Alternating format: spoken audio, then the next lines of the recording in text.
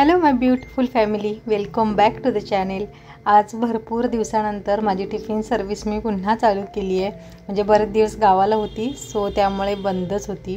त्यावेळेला म्हटलं थोडंसं ना स्वरूप आपण बदलून बघायचं. म्हणजे मी सुरुवातीला टिफिन नेऊन द्यायची पण आता म्हटलं नाही मी टिफिन नेऊन देणार नाही. भले कमी असू देत पण खरोखर ज्यांना चव आवडते ते घेऊन जातील. सो मी दोन तीन दिवस झाले मुंबईला येऊन.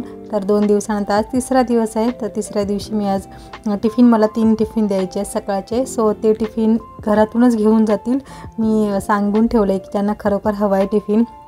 त्याने अगोदर सांगावा डेलीचा असेल तर मी देईन. किंवा जर थोड्या वेळ अगोदर सांगितलं तर मी बनवून देणं पॉसिबल असेल तर देईन पण घरी येऊन घेऊन जावं लागेल. कधी कधी असं होतं की आपल्या प्रत्येक प्रामाणिक प्रयत्नाला रिझल्ट चांगलाच मिळतो असं काही नाही. ह्याचा अर्थ असं नाही हां की प्रामाणिक प्रयत्न कोणी करू नये. पण ह्या वेळेला म्हटलं प्रत्येक वेळेला एखाद्याला अवेलेबल न राहिलेलंच कधीही चांगलं. सो कमी असू देत. तर घरी घरून घरातूनच टिफिन नेतील. कारण दगदग खूप होते. अद्विकचं स्कूल असतं. पुन्हा टिफिन बनवा नेऊन द्या. त्यानंतर त्याला स्कूलमध्ये आणायला जा. त्याच्यामुळे खूप प्रॉब्लेम व्हायचा. मला थोडासा मणक्याचा पण त्रास आहे. त्याच्यामुळे पण मला जास्त त्रास व्हायला लागला. मग आता म्हटलं नाही थोडे असू दे टिफिन पण मी घरातूनच देईन. तर सकाळी उठली होती मी सहा वाजता. उठून आंघोळ पांघोळ केली. आद्विक पण माझ्याबरोबरच उठला. उठू नको झोप म्हटलं तरी पण उठलाच. तर आता मी छोल्याची भाजी करते. त्यासाठी छोले बॉईल करायला ठेवले चपातीचं पीठ मळते आणि इकडे भाकरी पण क करते मी. म्हणजे मला एका डब्यासाठी भाकरी द्यायची आहे बाकी दोन डब्यांसाठी चपाती द्यायची आहे. तर चपातीचं पीठ मुरतं तोपर्यंत भाकरी करून घेईन. आणि डब्याबरोबरच आमच्या घरात ज्या काही आम्हाला दुपारी जेवणाला भाकरी लागतील ते पण मी आत्ताच करून घेईन. म्हटलं नंतर सारखं सारखं किचनमध्ये अख्खा दिवस नको घालवायला. सकाळचा टिफिन थोडासा लवकर द्यायचा असतो. म्हणजे मला वाटतं आठ साडेआठपर्यंत टिफिन द्यायचे असतात. म्हणून मग मी अगदी मल्टीटास्किंग करते. इकडे आपला कुकर थंड होतो आहे भाकरी थोडासा शेकायला वेळ लागतो. म्हणून मी साईडला आहे ना छोल्याच्या भाजीला जी आपली ग्रेव्ही लागेल कांदा टोमॅटोची सो ती करायला घेते. तिथे मी तीन छोट्या साईजचे कांदे घेतलेत. कांदे आता महागच झाले थोडे जपून वापरलं तरी काही हरकत नाही. तीन कांदे घेतले आणि त्यानंतर एक ह्याच्यामध्ये मिडियम साईजचा चांगला पिकलेला टोमॅटो घ्यायचा. आणि आलं लसूण जर तुमच्याकडे पेस्ट नसेल तर तुम्ही ह्याच्यामध्ये ॲड केलं तरी चालतं. आता मी रात्री पेस्ट करून ठेवली आलं लसणाची त्यामुळे मला थोडंसं इझी जाईल. तर इथे भाकरी बघा आपली मस्त टमक फुगली आहे तर हे ना मी दुसरी भाकरी जेव्हा शेकायला घालेल ना तेव्हा ते मिक्सरमध्ये फिरवून घेईन. ही गरम करत ठेवली आहे मी. आणि आता ना त्याच्यामध्ये जे आपण पेस्ट कांदा आणि टोमॅटोची केली आहे ती घालायची आहे. तर कांदा ही कच्चा आहे आणि टोमॅटोसुद्धा कच्चा आहे. तर त्यामुळे आता आपल्याला ह्याला छान भाजून घेणं खूप गरजेचं आहे. तर तेलामध्ये मी थोडंसं जिरं आणि थोडंसं जे तमालपत्र असतं ना तर एक तमालपत्र मी घातलं होतं. बस आता हे कांदा टोमॅटो मस्त मिडियम फ्लेमवरती छान परतून घ्यायचं. थोडंसं मीठ घातलं तर थोडासा लवकर कांदा टोमॅटो फ्राय होतो. आणि चांगलं मस्त ब्राऊन झालं पाहिजे. ह्याच्यात जे मॉइश्चर आहे ते पूर्ण जाईल ना तोवर आपल्याला हे परतून घ्यायचं आहे आपल्या छोल्यांचा कुकर पण थंड झाला होता. तर मस्त छोले शिजलेले आहेत. का मस्त कांदा आणि टोमॅटो छान परतले गेले. की मग त्याच्यामध्ये लाल तिखट थोडीशी धण्याची पावडर आणि हळद घातली मी. लाल तिखट थोडंसं कमी घातलं कारण आलं लसणाची पेस्ट केली होती आणि त्याच्यामध्ये पण मी थोडी हिरवी मिरची घातलेली. आणि हे सुके मसाले चांगले आपल्याला परतायचे आहेत म्हणून मी थोडंसं एक एक दोन दोन चमचा ह्याच्यामध्ये पाणी घालून सुके मसाले पण चांगले परतून घेते. हा मसाला जितका आपण छान परतवू ना वेळ देऊन तितकी आपली भाजीची टेस्ट आहे ती मस्त होते. तर उरलेले छोले जे आहेत ते मी ह्याच्यामध्ये घातलेत आणि थोडेसे छोले मी साईडला ठेवले एक दोन तीन चमचे. त्यानंतर पाणी घालून छान धाक झाकण लावून ठेवायचं आणि जे आपण उरलेले छोले थोडेसे ठेवलेले ते थोडंसं पाणी घालून मी मिक्सरमध्ये पेस्ट करून घेतले याचे. ह्याच्याने ग्रेव्ही तर चांगली होते पण टेस्ट खूप मस्त येते त्या ग्रेव्हीला.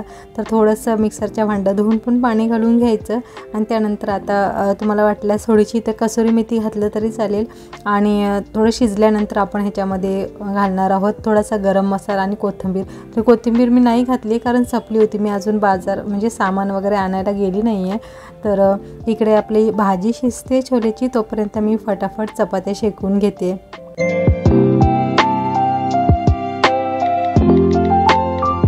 गावावरून आल्यापासून आहे ना मी थोडी थोडीशी क्लिनिंग करते साफसफाई कारण बरेच दिवस नव्हतो त्यामुळे. तर एकदमच सगळं मी किचन वगैरे नाही काढलं साफ करायला. तर काय होतं माहिती आहे एकदम प्रेशर येतं लोड येतं. अद्विकची पण एक्झाम सुरू झाली आहे ना तर म्हटलं थोडा थोडासा वेळ आपण त्यालासुद्धा द्यावा. म्हणून मी ना थोडं थोडंसं जितकं होईल तितकी तितकी साफ करते. काल मी फ्रीज वगैरे साफ करून घेतलं. त्याच्या अगोदर थोडं आपलं इकडे तिकडे थोडंसं डस्टिंग वगैरे केलं. आणि जसं जसं जमेल तसं तसं मी थोडी थोडीशी भांडी काढून किचन साफ करून घेईन. तर इकडे आपली भाजी वगैरे छोल्याची मस्त रेडी झालेली आहे. आणि एकदम एकदम झटपट बनते ही भाजी. थोडंसं आपल्याला मसाला भाजायला वेळ द्यावा लागतो. बाकी पटकन बनते आणि टेस्टीसुद्धा लागते. मी जेव्हा आपल्याकडे कांदा टोमॅटोचं किंवा कांदा खोबऱ्याचं आपण जे वाटण बनवतो ना खोबरं वगैरे घालून तर ते वाटण नसेल तेव्हा मी शॉर्टकट असेच छोले बनवते. तर मी जेवण करेपर्यंत अधिक साहेबांनी बाहेर ना पूर्ण खेळणी पसारा करून ठेवला होता. कारण तो एकटा बोर होत होता. मला काही की आधीमध्ये सांगायला येत होता. स्वतः सकाळी सकाळी लॉलीपॉप खात होता. तर ते आणून आणून मला दाखवत होता असं आहे ह्या कलरचे आहे. तू टेस्ट करून बघ. तर त्याला त्याची थोडी थोडीशी करमणूक करत करत मी टिफिन बनवले. आणि त्यानंतर आता हा पसारा काढून मी बाकीची थोडी कामं आवरून घेईन. त्याला आंघोळ पंघोळसुद्धा घालायची आहे. आणि त्यानंतर मग मी आमचं जेवण बनवेन. कारण जी भाजी मी केली छोल्याची ती टिफिनसाठी झाली आहे. ती आमच्यासाठी नाही उरली आहे. मग मी आमच्यासाठी भाजी नंतर बनवेन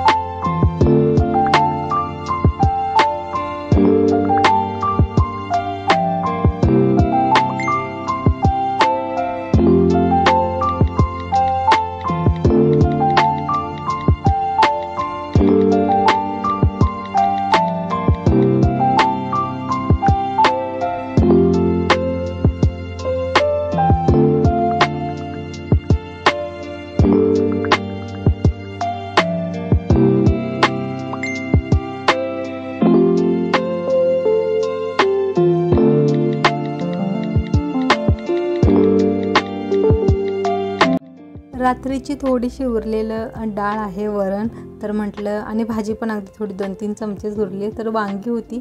तर वांग्याची थोडीशी डाळ घालून आमटीच बनवायची पातळसर कारण घरी आमच्या दोघांनाही आम्हाला वांग्याची आमटी आवडते आणि तशीही वांगी कोमेजली ना की चांगली नाही लागत.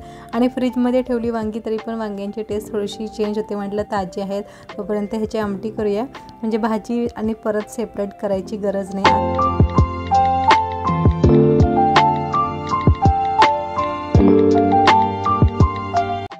तर मसुरीची डाळ घालून केलेल्या आमटीत शिजल्यावर थोडंसं दाण्याचं कूट घातलं ना की आमटी मस्त लागते. आणि हे जे माझं किचन ओट्यावरचं जे छोटंसं स्टँड आहे ज्याच्यावरती मी बरण्या खलबत्ते वगैरे किंवा चम हे चमचे ठेवायचं जे आपलं होल्डर असतं ते ठेवते. तर ते थोडंसं घाण झालं होतं. कारण ते एकदम गॅसच्या जवळ आहे तर त्याच्यामुळे त्याच्यावरती काही ना काही ठिपके उडत राहतात. तर ते खूप लवकर घाण होतं. तर आज म्हटलं त्याची वेळ आहे. तर कपडे वगैरे मी आधी धुवून घेतले. त्यानंतर मग मी हे सगळं करते. तर बराच वेळ लागला होता मला. म्हटलं जास्त क्लिनिंग नाही करायची. बस एवढंच करायचं. कारण बराच वेळ माझा बाथरूममध्ये कपडे धुण्यामध्ये गेला होता.